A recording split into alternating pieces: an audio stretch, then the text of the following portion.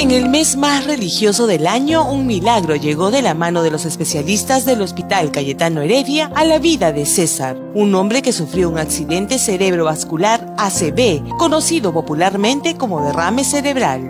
Yo estuve en mi casa y resulta que la pierna derecha comencé a arrastrarla.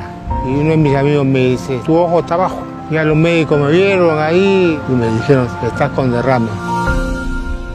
Esta enfermedad le causa a los pacientes parálisis y dificultad para hablar o incluso la muerte. Puede presentarse como un infarto cerebral, que es la obstrucción de una arteria, o como una hemorragia que viene a ser la ruptura de la misma. Cabe resaltar que la primera es la más frecuente con un 80% de los casos. Constituye la segunda causa de mortalidad en el Perú. Asimismo, es la primera causa de discapacidad en el mundo.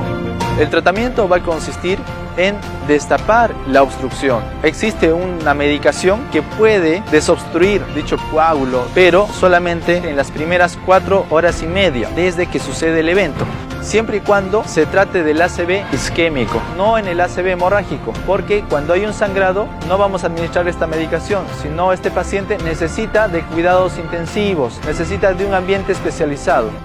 Pero ¿cómo podemos identificar un ACV? Principalmente la debilidad que se produce en un lado del cuerpo. También otro síntoma es lo que le llamamos usualmente una parálisis facial. El principal factor de riesgo es la hipertensión arterial, luego la diabetes, problemas de colesterol, también las arritmias cardíacas, el tabaquismo, el alcoholismo. Si tienes alguna de estas enfermedades o factores de riesgo, acude a un especialista para que sigas un tratamiento oportuno. Si sospechas de ACV, actúa con velocidad. Gobierno del Perú. El Perú primero.